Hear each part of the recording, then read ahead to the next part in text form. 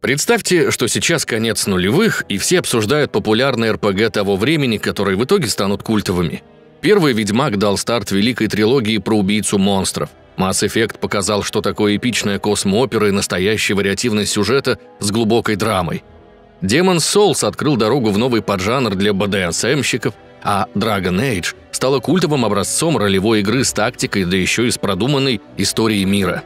О последней мы поговорим в этом ролике. Ну что, попала в глаз ностальгия? Уверен, что так, и это хорошо – Обычному обзору она могла бы и навредить, но в рубрике «На игле» мы ностальгируем без зазрения совести, вспоминая самые светлые аспекты любимых игр, из-за которых хочется оставлять в них десятки, а то и сотни часов. Вот и в случае с Dragon Age, пройдя ее в первый раз, сразу понимаешь, что эту историю хочется пережить снова. Ведь она весьма нелинейна, и сюжет в ней прописан до мелочей. Автор прошел игру 7 или 8 раз, каждый раз находя способы разнообразить игровой процесс – Давайте обсудим, почему Dragon Age так цепляет и какие аспекты сделали эту игру великой. Мне, сценаристу Степану Пахомову, пришлось отыскать старые страницы из кодексов, спрятанные в памяти, и дословно переписать их. Расшифровал и озвучил эти древние тексты диктор Антон Киреев, а ностальгический видеоряд создал монтажер Богдан Андреев, применив свои волшебные навыки. Вы на канале IGM – Располагайтесь поудобнее, наливайте себе кружку гномьего эля, ну или что-нибудь попроще. Эльфийский чаек с травами, например. Начнем же.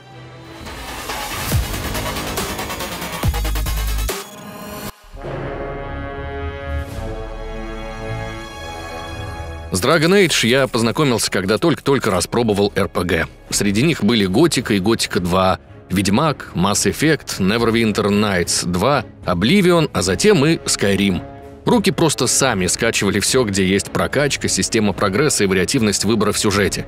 Тогда я был нищим студентом, так что не удивляйтесь, что игры попадали на мой ПК прямиком с борта пиратского корабля под названием «Торрент». Поначалу это творение от BioWare я не понял и решил, что скачал какую-то бюджетную подделку. Представляете? Вот такое у меня было мнение о в будущем культовой игре. Графика даже в те бородатые годы не впечатляла, а еще раздражала, не побоюсь заявить, отвратительная русская озвучка. Конечно. Да, я поняла, все настроилась. Угу. Никакие обзоры в те времена не смотрел и не читал, даже понятия не имел, во что очередной раз буду играть. Просто скачивал и устанавливал. Разве что знакомые могли донести до меня хотя бы чуточку хайпа о той или иной игре. Ну вот, Озвучку поменял, на графику перестал обращать внимание, долго и упорно погонял за мага и выместил на компьютерных болванах весь свой юношеский максимализм. Поясню. Маги в Dragon Age по лору вселенной заперты в специальных башнях под надзором церкви, потому что их считают опасными и уязвимыми для одержимости демонами в том числе. У меня возникал некий подростковый бунт. Я вживался в роль этого волшебника-узника, ненавидел своих надзирателей и считал, что людей нельзя запирать. Соответственно, везде по сюжету выступал за добро и свободу для каждого. И вот тут возникла основная причина, из-за которой я полюбил Dragon Age.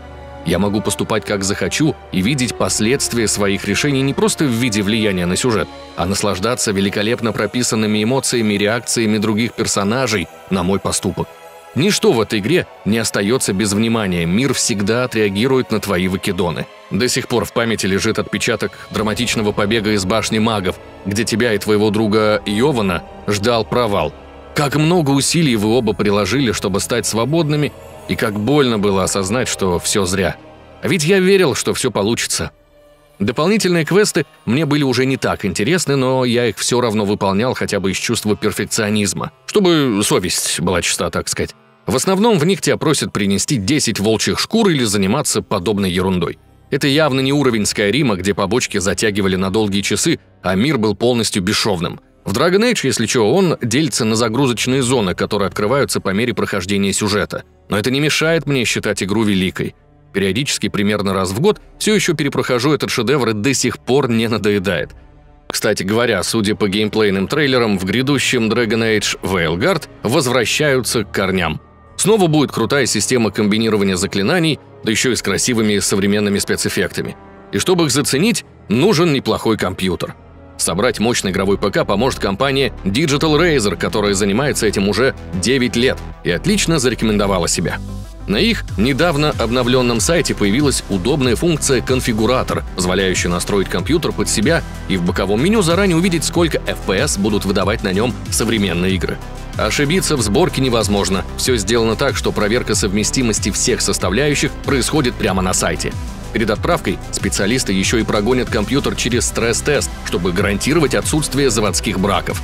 А чтобы ПК идеально вписывался в интерьер твоей геймерской берлоги, выбери крутейший стильный внешний вид, отражающий твою любовь к конкретной игре или жанру. Digital Razer собирает также рабочие станции и сервера, соблюдая индивидуальный подход к каждому клиенту. Забрать свою новую машину можно прямо из офиса в Санкт-Петербурге или заказать доставку в любую точку России с отправкой уже на следующий день после заказа. Гарантия до 36 месяцев, и при выходе из строя какого-либо компонентов тебе заменят его сразу без ожиданий проверки на гарантийный случай, что позволяет сильно сэкономить время. Digital Razer думает о своих клиентах, поэтому служба поддержки готова ответить в Телеграме в любой момент, даже в выходные дни. Достаточно показать им уникальный QR-код твоего компьютера, который также показывает информацию о ПК и оставшемся сроке гарантии. Удели пару минут времени на сборку, получи помощь специалистов, а затем играй без просадок FPS и наслаждайся уникальным стилем своего игрового зверя. Все в кратчайшие сроки. Ну а мы вернемся к похождениям в Dragon Age Origins. Перед тем, как нахваливать сюжет игры и ее механики, расскажу о том, какие аспекты Dragon Age меня удивляли и выгодно ставили ее на первое место в моих глазах на фоне других проектов BioWare. Ну, это РПГ, скажете вы, что необычного ты там увидел. Однако все не так просто, как кажется. Особенно для консольщиков, которым дали сильно урезанный интерфейс и кастрировали тактические возможности. Как пекарь готов раскрыть настоящую суть игры – Разработчики заявляли, что создали духовную наследницу Baldur's Gate 2. Здорово, наверное. Только вот мне это ни о чем не говорило, ведь той самой наследнице я не был. Как бы двусмысленно это не звучало. Вот что такое для молодого пацана первые и вторые врата Бальдура. Очевидно, устаревшие игры с устаревшей графикой и неудобным интерфейсом. По этой причине моя нюфажность не дала с ними познакомиться. Но играть в РПГ желание было – Тут и приходили на помощь современные детище игровой индустрии, среди которых затесалась партийная Драгонага. С некой партийностью я уже был знаком по игре Neverwinter Nights 2, но такого тактического функционала, как в Dragon Age, там не наблюдал. Поэтому игра быстро поразила меня своими возможностями. Ставь на паузу, раздавай приказы и даже настраивай поведение для каждого члена партии. Сложно переоценить огромное влияние тактики на игровой процесс, чего ранее мне не доводилось видеть в жанре а возможность переключения на изометрический вид помогала хотя бы отдаленно прочувствовать вайб классических изометрических CRPG.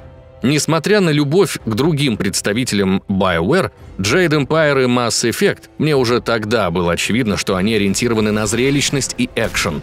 Но вот продуманной системы взаимодействия с командой в них катастрофически не хватало – даже диалоговая система казалась сильно упрощенной, с этим круговым меню и четким пониманием, где злой ответ, а где добрый. В Dragon Age подкупало, что система диалогов непрозрачна. Кругового меню нет, и местами приходилось хорошенько подумать, прежде чем ответить. Даже положительного решения просто могло не быть, и приходилось выбирать между меньшим и большим злом. Так, в сюжете, где воюют эльфы и оборотни, в любом случае кто-то умрет.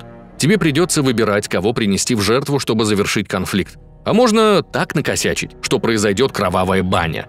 Даже на третье прохождение возникал вопрос с удивлением, да сколько еще способов прохождения этой сюжетной цепочки существует? И таких цепочек много. Мои, так сказать, отношения с Dragon Age проходили в несколько этапов, прям как с женой. До свадьбы она кажется простой и невинной, потом ты познаешь детали ее характера, а затем и вовсе знаешь как облупленную. Не подумайте плохого, не надо лупить женщин, только плеточкой, легонько. Как только я начал играть в Dragon Age, она мне показалась синглплеерным аналогом World of Warcraft.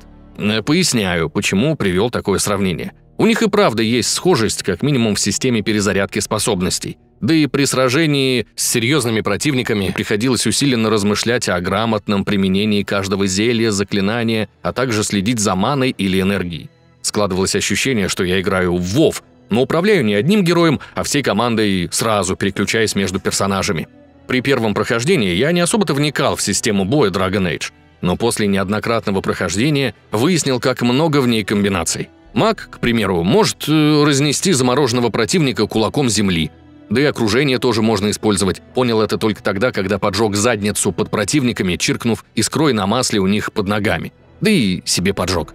Час уже чьи-то руки тянутся написать, что про камбухи было написано в обучающих подсказках. И я не знаю, что вам ответить. Не думайте об этом. Подумайте лучше о том, где можно выгодно приобрести игры в наше непростое время, когда все блокируют и ограничивают. Здесь все проще простого. Затаривайтесь лицензионными ключами в нашем обновленном магазине IGMGG. Тут вас ждет большой ассортимент, среди которого множество популярных тайтлов. Почти даром можно ухватить Civilization 6 и покорять целые эпохи, пока ждете седьмую часть. Любуйтесь Ларой Крофт и переживайте с ней приключения в эпической трилогии Tomb Raider Definitive Survivor Trilogy, а также дробите черепа в средневековых побоищах Kingdom Come Deliverance. У нас есть не только максимальное издание Royal, но и возможность оформить предзаказ второй части. Но и это еще не все. Теперь можно приобрести карты пополнения, будь то валюты в PUBG Mobile или карты игрового времени в WoW. Мы постоянно обновляем каталог, поэтому переходите по ссылке в описании и покупайте выгодно на IGMGG. Даже когда я запомнил все ловушки, масляные пятна, расположение врагов на локациях и комбинации заклинаний, даже тут не смог избежать нужды в применении тактики. Для среднестатистического игрока, коим я поначалу и был, Dragon Age, сложная игра, требующая продумывать свои ходы. Но не получится у тебя просто нестись вперед как дурак, хоть ты трижды запомнил все локации. Это меня и подкупило. Игра всегда воспринималась мною как испытание даже на пятое прохождение. Именно так Dragon Age выглядела для новоиспеченного РПГшника. Но вот я пробыл в браке с игрой достаточно долго и наигрался на кошмарной сложности. В какой-то момент мне стало легко настолько, что захотелось чего-то нового. На помощь пришла безумная идея – пройти всю игру, не используя спутников. Молодожен умер. Пришел поехавший мужик, которому простого секса с женой недостаточно. Нужно что-то необычное. Так родился хардкорщик. И лучше бы я этого не делал. Серьезно, никогда этого не повторяйте. Причина в том, что в своих извращенных похождениях я разглядел сломанный баланс игры. Разбойник с двумя кинжалами и волшебник являются имбовыми классами, сильно опережающими по эффективности любой спек воина – Маг, даже не напрягаясь, уничтожает орды противников мизинцем левой ноги, заставляя их корчиться в агонии огненных вихрей.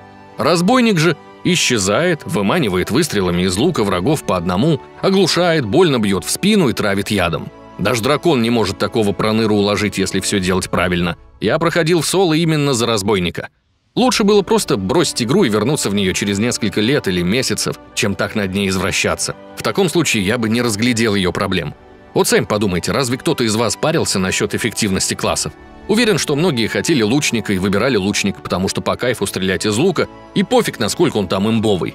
Такой подход принесет вам намного больше положительных эмоций, чем извращенные челленджи. Ну да ладно, я вылечился. Честно-честно. Теперь у меня нет такой сильной тяги к подобным приключениям и хватает просто кошмарной сложности, да и использования всех механик игры со спутниками. Dragon Age в любом случае остается очень продуманной в плане боестолкновений. Каждая пачка мобов или босс заставляют включать голову, а настройки сложности весьма гибкие, что позволяет игре быть для всех и каждого, полюбиться и хардкорщикам, и казуалам. С механиками разобрались, а теперь поговорим о мире и сюжете. Не влюбиться в них сложно.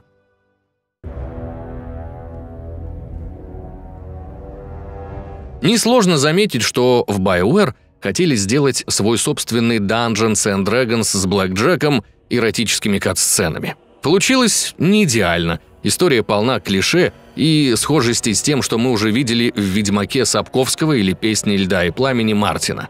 Эльфы когда-то воевали с людьми, а теперь доживают свой век и находятся в резервации, а местная знать Ферилдена, королевство, где происходят события игры, плетет интриги в стиле «Игры престолов», пока остывает труп короля.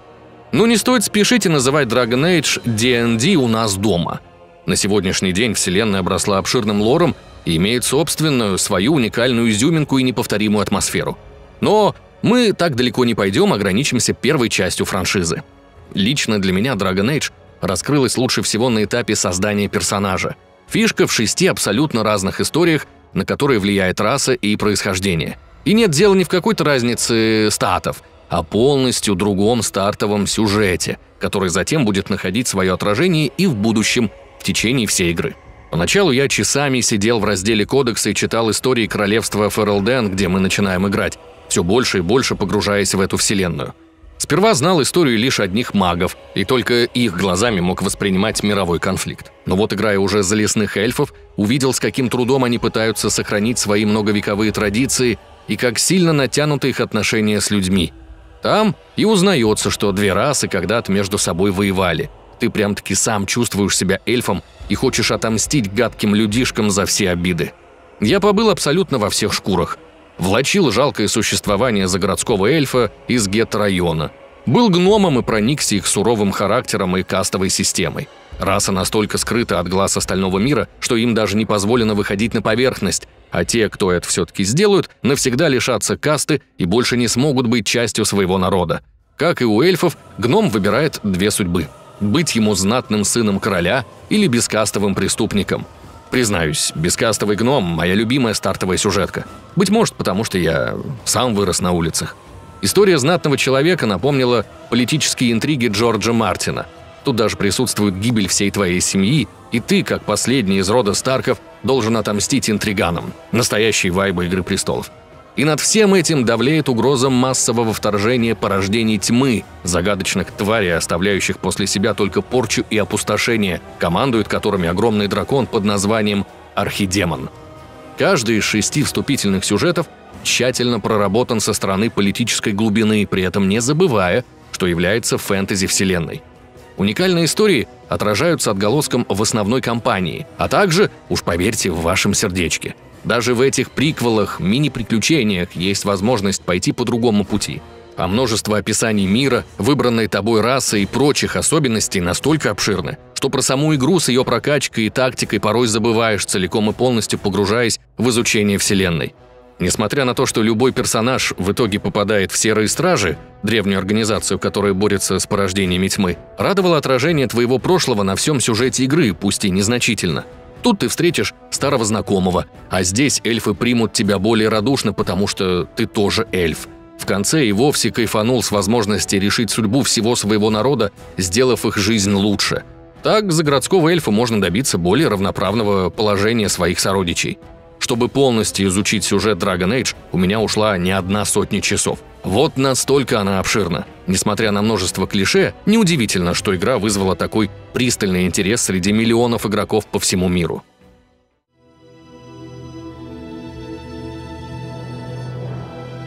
С самого начала я понимал, что играю не в экшен, а в медленную игру с крайне долгими извилистыми диалогами.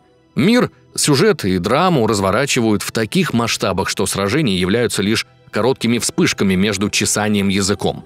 Но должна же была наступить точка, когда читать уже нечего, и весь сюжет, и лор ты знаешь. И вот ты уже игнорируешь страницы кодекса и спокойно идешь крошить нечисть. Тем не менее, все гораздо глубже раскрывается на уровне каждого отдельного персонажа, в том числе и твоего. В этом и есть фишка Dragon Age, за которой я снова и снова пролетал игру от начала до конца, включая дополнение Awakening. Серая мораль и непредсказуемые поступки спутников заставляли почувствовать реализм. Я верил, что люди могут так общаться. Персонаж может присоединиться или не присоединиться к команде, уйти или остаться, на все это влияет поведение игрока. Каждый герой имеет свой уровень одобрения, и от его уровня сильно зависит, будет ли он поддерживать тебя в дальнейшем. Эльф Зевран, например, сильно удивил, когда просто взял и предал меня, присоединившись к наемным убийцам. Оказывается, что с ним надо было дружить, и он бы так не поступил. Единственный выживший, кроме игрока, серый страж Алистер и ведьма Мориган, помогающая вам, являются основными спутниками с начала игры. И они ненавидят друг друга. Сильно забавляли их перепалки, а обсуждение дальнейших планов с ними часто превращалось в попытки угодить каждому – но больше всего поразило другое. Только спустя несколько лет, даже имея стаж в сотни часов, я узнал, что, к примеру, тому же Алистеру, тряпки и сопляжую, можно сказать «Будь мужиком, блядь!» И он станет настоящим решалой, взяв себя в руки. Мориган же – стерва с характером, но ее можно смягчить, если найти к даме подход. Где-то в глубине ее души живет нежная женщина. Какого хрена это было так неочевидно? В игре также есть спутник Барт по имени Лилиана – ее можно сделать как добрее, так и ужесточить. Ужесточив Лилиану, можно уговорить ее на тройничок с другой девушкой. Надеюсь, что открыл для вас секрет. Несомненно, что у каждого игрока есть свои фавориты. Мне вот очень интересен Кунари Стэн, убивший в порывах ярости семью крестьян. Оказалось, что виной всему потеря его меча, а для Кунари потерять меч – величайшее бесчестие. Несмотря на то, что крестьяне вытащили Стена после битвы и отходили, он на эмоциях их порешил, не обнаружив рядом оружия. После чего Кунари добровольно согласился на голодную смерть. Но тут приходит игрок и предлагает ему искупить вину в войне с порождениями тьмы.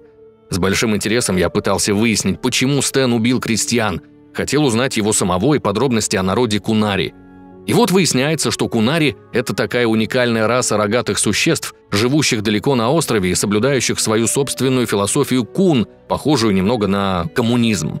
У всех примерно равные права и четкая иерархия. Даже человек может принять кун. Моделька Стена рогами не снабжена – Кунари получит рога только со второй части.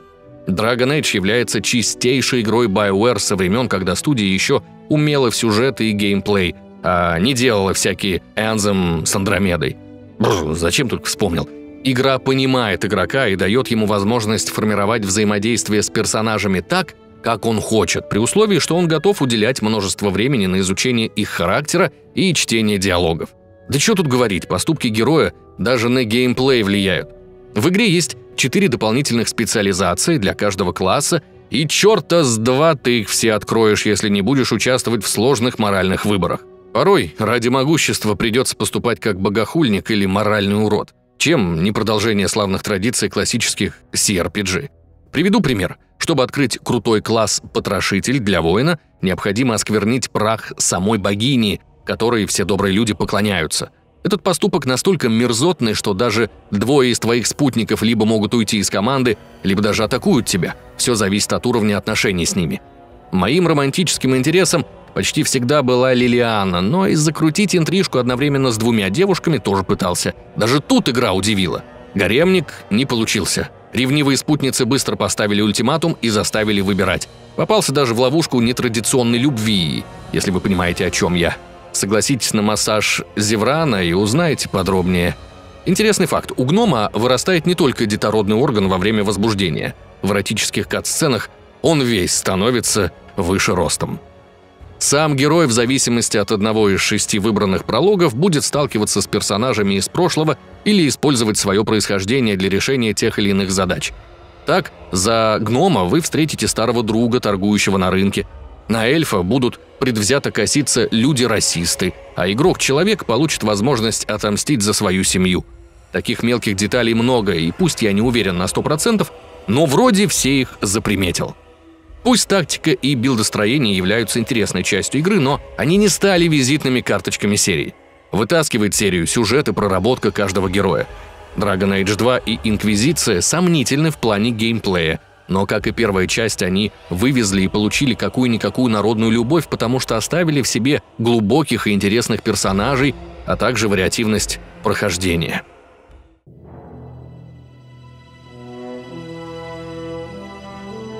Почему же Dragon Age заслужил такую огромную народную любовь?